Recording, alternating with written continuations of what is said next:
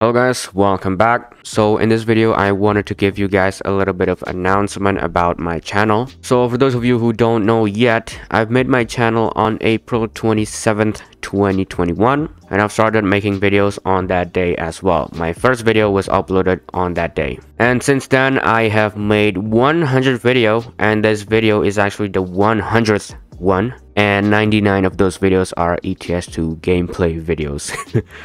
Now, to be honest, I still like the game very much. I don't think it's boring yet for me, but I feel like I'm kind of running out of ideas about ETS2 gameplays, you know? Most of the ETS2 YouTubers, they're just making videos about some mods on ETS2, the best mods, this mods, that mods that is good or not uh, for ETS2 and everything like that. But me personally, I don't think I'm that kind of YouTuber, you know? I don't really like to play games with mods in it. I just like to play games just as how it is. Not saying that I'm against that, but it's just not my preference.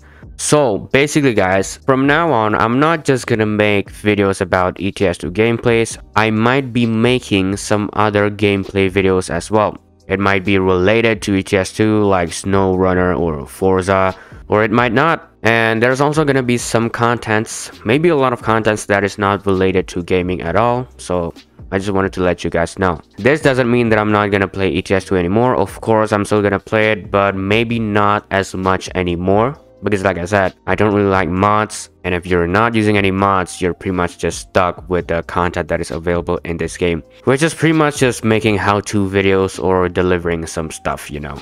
But who knows, I might be using mods, making videos about mods in the future. I don't know, let's see. But yeah, that's basically it for this video, guys. I just wanted to give you guys a little bit of announcement so you guys would feel like more close to me in some ways, you know. So yeah, thanks for watching.